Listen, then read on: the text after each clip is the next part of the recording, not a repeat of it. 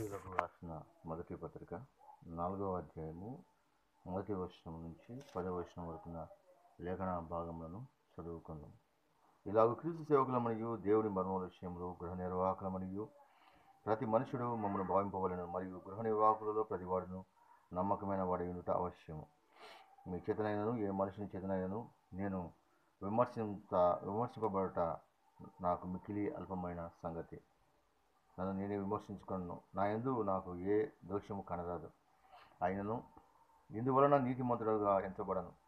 నన్ను విమర్శించేవాడు ప్రభువే. కాబట్టి సమయం రాకమునుపు అనగా ప్రభు వచ్చే వరకు దేని గురించి తీర్పు తీర్చకుడి. ఆయన అంధకారముందలి రహస్యములను వెలుగులోనికి తెచ్చి హృదయంలోని ఆలోచనలను బయలుపరిచినప్పుడు ప్రతి వానికి తగిన మెప్పు దేవుని వలన కలుగును. సహోదరులారా మీరు మమ్మల్ని చూచి లేఖనంలో ఎందు వ్రాసిన సంగతులను అతిక్రమింపకూడదని నేర్చుకొని మీరొకని పక్షమున మరొకని మీద ఉప్పొంగుకున్నట్లు మీ ఈ మాటలు మీ నిమిత్తమై నా మీదను అపోలో మీదను పెట్టుకుని సాదృశ్యరూపంగా చెప్పి ఉన్నాను ఎందుకనగా నీకు అత్యధికముగా కలగజేయవాడు కలగజేయవాడు ఎవరు?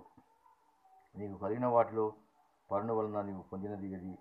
పొందిండియు పొందినట్టు నీవు అతిశయింపనేలా ఇదివరకే మీరేమీ కొదవలేక తృప్తులైతుంది ఇదివరకే ఐశ్వర్యవంతులైతుంది మమ్మల్ని విడిచిపెట్టి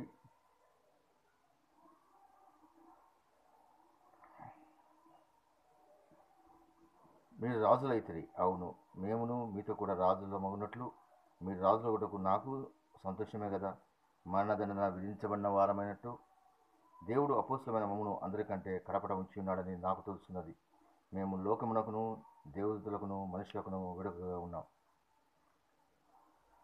అపోసైనటువంటి పౌలు కొరందులకు రాసిన పత్రిక నాలుగో అధ్యాయము పదకొండవ పదవ వచనంలో ఇలాగూ ఉంది. మేము క్రీస్తు నిమిత్తము వెరివారము మీరు క్రీస్తు నందు బుద్ధిమంతులు మేము బలహీనలమును మీరు బలవంతులు మీరు గనులు మేము గణహీనులము అపోసిన పౌలు